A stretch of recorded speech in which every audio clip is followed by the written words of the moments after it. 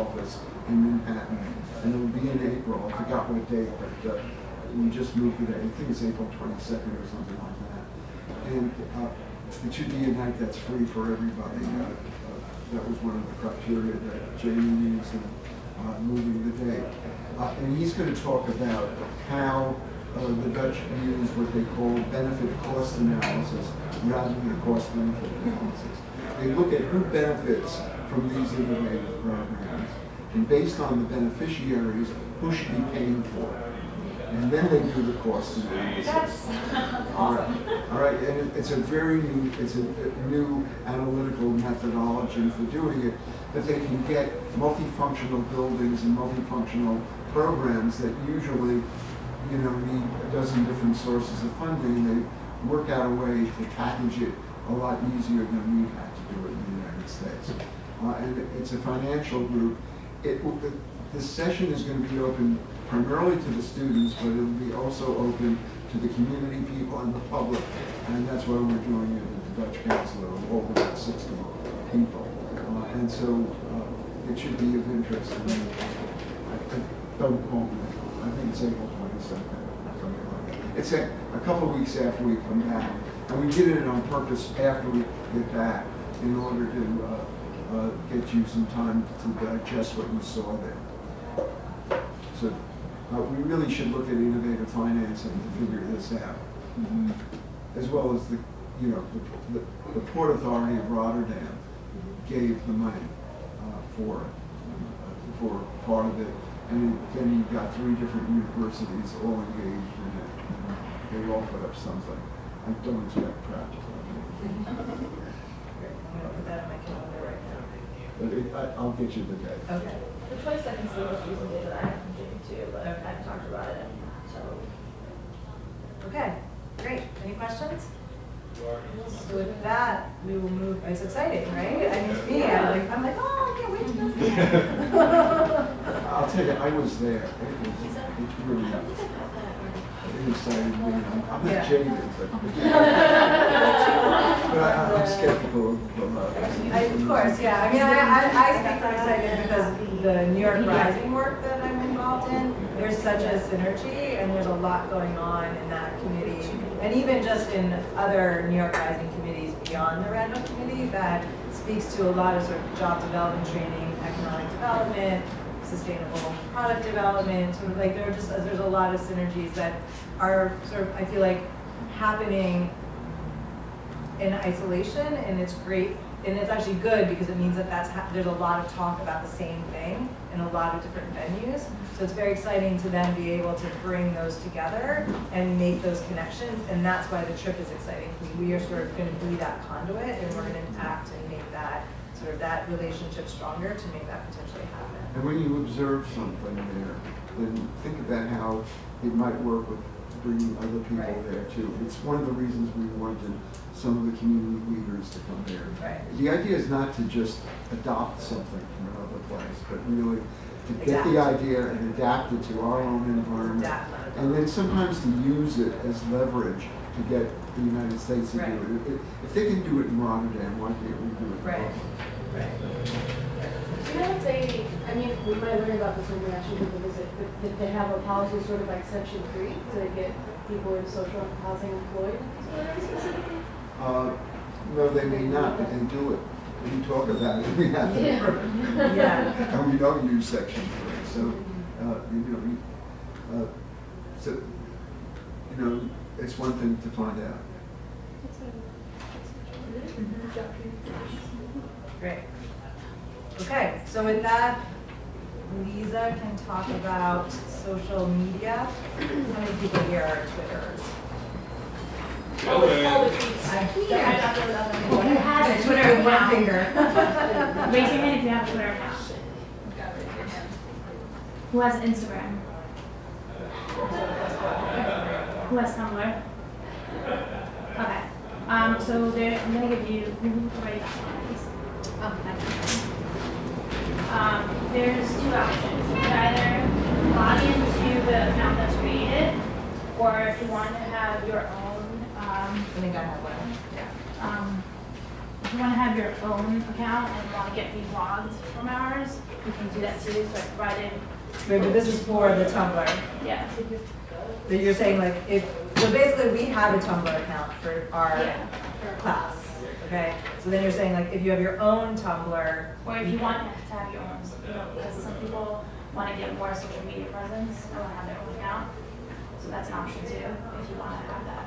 So I provided both. But then you would always get reblogged. No, I understand this. I, I'm not sure, I'm not sure I'm gonna understand this. I'm gonna say, I'm gonna say, well, I think that's an okay option, I would prefer that we only use one Tumblr. So you can Instagram your life away, but let's keep it on this one location, you know, uh, it just gets too messy, too complicated. Uh, So, so she just work on the Tumblr. I think so, yeah. I mean, you can ha- you can blog your own blog on your own blog post, but let's keep this all on our Tumblr here. So if we use Instagram, you want us to use these hashtags though? Yeah. Yeah, the, the idea though is that like, and, I mean, if there's some crazy photos, I don't wanna know about it, don't hashtag it, okay?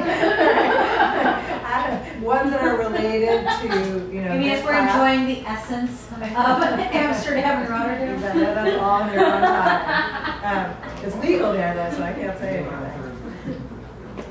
Um, So then, are we, are we not doing Twitter? No, you can, but what I'm saying is like you should use the hashtag on Twitter. Oh, So that way like everything is aggregated and, yeah. And What's the hashtag? Riza? Uh, Riza? No, No, Rotterdam. Rotterdam. What's the, X? Exchange. Because it would be great to live tweet yeah. the entire trip, right? And then Dan Wiley is gonna follow us, so like he literally can't be at our trip, and he's like, just tweet every moment and I'll watch you guys. I was like, okay, that's fine. Should uh, we share this with the folks in Rotterdam? Yeah. Okay. Yeah, that would be great. If they did the same thing. That would be great. So the Tumblr is just, that, that's gonna be our place where we blog, where we post blogs. And obviously, like, then you can do your own Facebook, you can do your own Twitter account, and then refer back to this here. But Visa has very nicely created sort of like our standards of how we want that to happen, because we do want them to have a relationship and to be connected with each other. Let me ask a stupid question. Yes, please The hashtags, are they relevant only for Twitter or, No, it's relevant for Tumblr, for Twitter, and for Instagram. okay. And Facebook. And now Facebook, yeah. Oh, really? Unless you're, but if you're private, then On a Google search.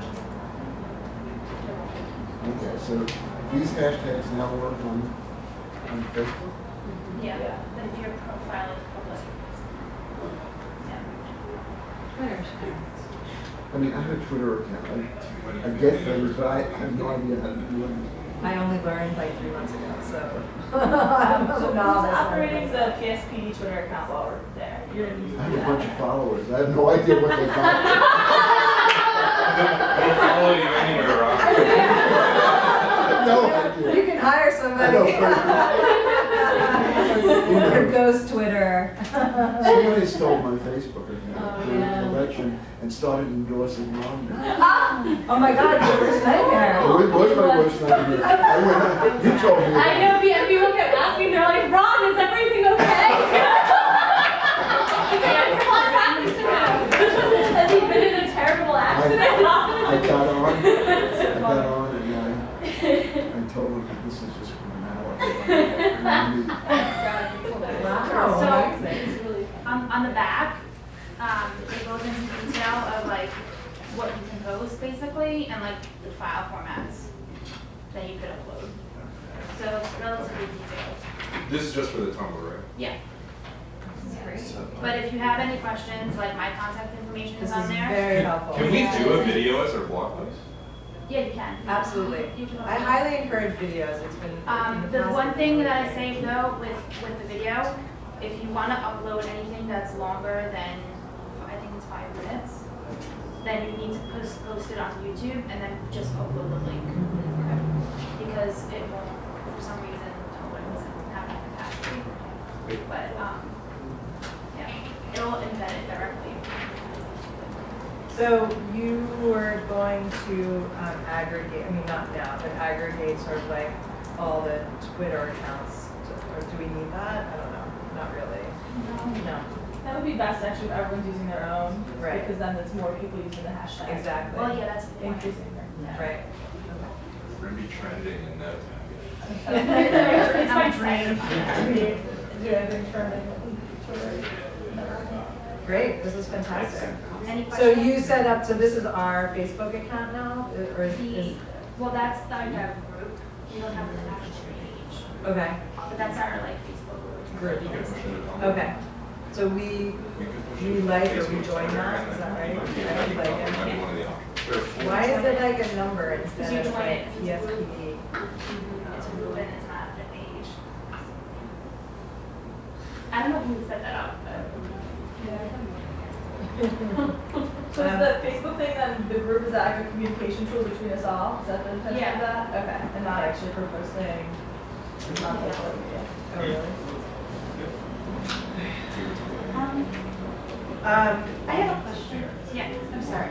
So, um, I may be skipping ahead or not, but, um, so we need to take at least six high-resolution photos that we're later going to add to, you know, the general, the photo archive of our trip.